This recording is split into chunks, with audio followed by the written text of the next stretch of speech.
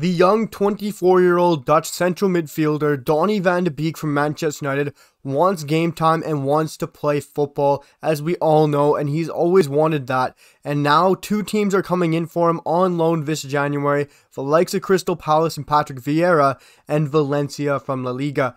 This is huge news. Of course, Fabrizio Romano just came out with this in the past couple of minutes. All of the big hitters are coming out with this Sky Sports, everyone out there, and of course, Fabrizio coming out with this tweet.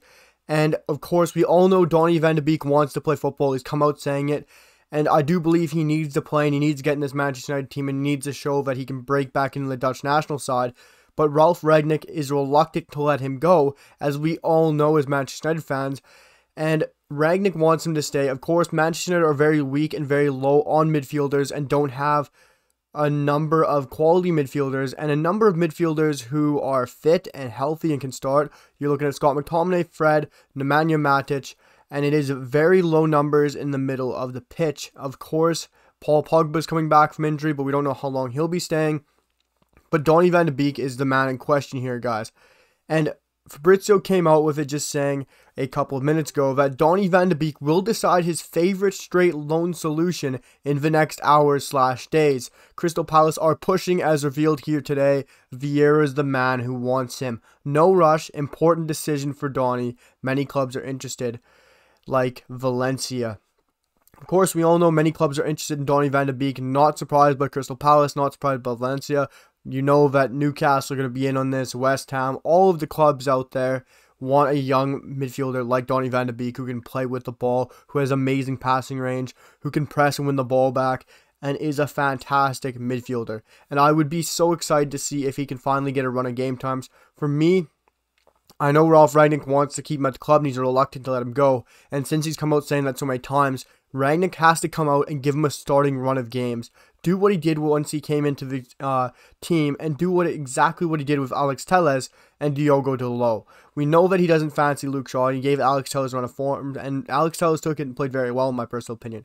And he did the exact same with Diogo Dalot. Dalot never had game time, never had consistency, and then he gave him a run of game time. And he's by far our best right back, in my opinion, right now. And you got to do the same with Donny van de Beek. Ralf Rangnick could switch to a three in the midfield, like Fred McTominay and Bruno Fernandes. But Donny van de Beek is one of the pieces missing for me in that midfield.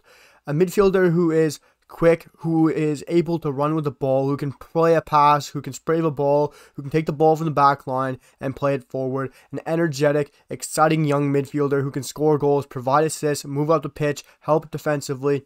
Donny van de Beek is the full package and a guy I think we're missing. Of course, we need a defensive midfielder, but Donny van de Beek I do believe can suit and play right beside that defensive midfielder. Donny van de Beek needs time, but in the tweet that Fabrizio did say earlier on, he comes out with this little line here. Man United are not accepting any loan with buy option proposal. They want Donny van de Beek to be in the team for season 22-23. So maybe for me, I understand that we want him. He wants game time. He wants to get in the World Cup setup. Of course, of course, he wants that, and he wants to play.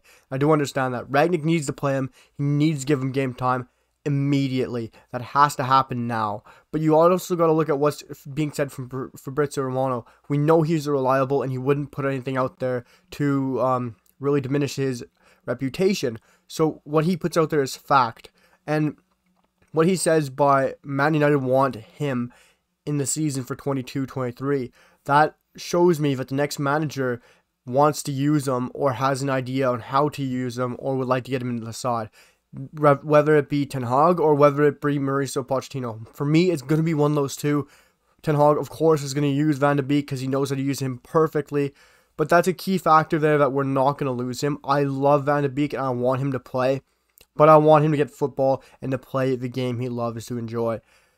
For me, I think Crystal Palace would be a great loan for him. Of course, I love Crystal Palace. I love everything Patrick Vieira is doing. He's smashing it, doing an amazing job. Of course, there's been ups and downs throughout the season for Crystal Palace, but that was always going to happen with a younger team. Like Sir Conor Gallagher has been fantastic. Could you imagine a midfielder Donny van de Beek and Conor Gallagher? That would be an unbelievably energetic, dynamic midfield. That'd be so fun to watch. Personally, for me, I don't want to see Donny van de Beek leaving this window. I don't want to see him go out alone. I'd love to see Rangnick stay true to his word, keep him at the club, and to God, give him some games because holy crap, he needs game time, and holy man, is he better than McTominay and Fred combined with one leg.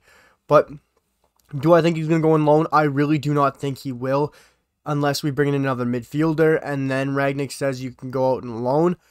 But it is going to be very interesting to see what happens. Like Fabrizio said, this is up to Donny van de Beek, and he will decide his favorite straight loan solution in the next hours or days.